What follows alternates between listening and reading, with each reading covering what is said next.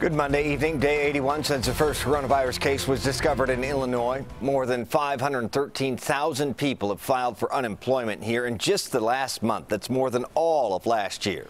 And while the governor is praising what he calls massive efforts to get relief money into the hands of those without a paycheck, many still haven't seen a dime. CBS 2 is committed to working for Chicago, uncovering answers about the systems that are supposed to support the newly unemployed.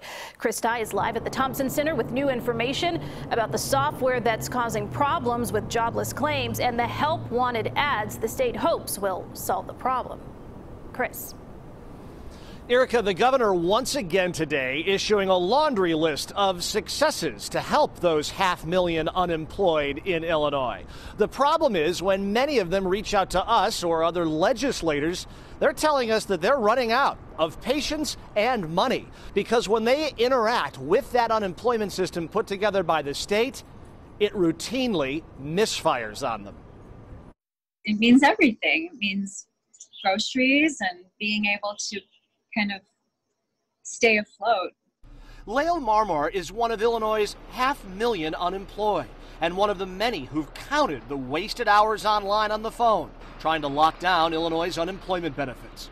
At least 20 hours, I'm sure. I believe that the state of Illinois has failed those Illinoisans who have been left out, that were cut out as non essential in their loudest voice yet, House Republicans blasting the governor for an unemployment system not prepped for the pressure this crisis placed on it. It is time for this governor to step up and fix the problems with IDES and not just complain about things at the federal level. This is 100% under his control. Today, the state of Illinois hiring systems analysts to help improve the unemployment system that runs on a computer language known as COBOL, a 60 year old system that many states rely on. When one legislator tried warning the governor's office of the looming problems, the direct quote was, Get a life. Today, the governor is saying the demand is five times worse than in the Great Recession, and the problems are being addressed, and IDES staff doing so in quick fashion.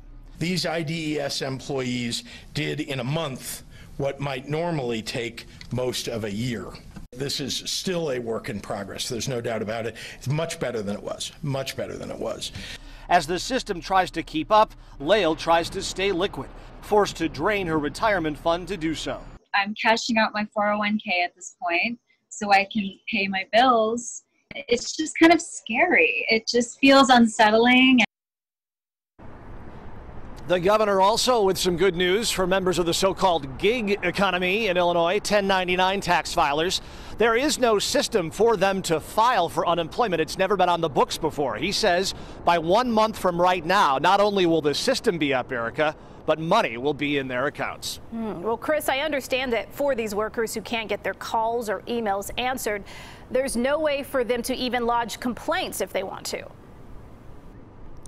That's right. CBS 2 asked IDES for a full list of complaints regarding all of this, and they said, We don't have it because there is no mechanism for those who are trying to file for unemployment to complain. Lael, who you met in our story, she has a problem where her social security number doesn't match up to her name inside the system, and so she has spent those 20 hours trying to fix that problem.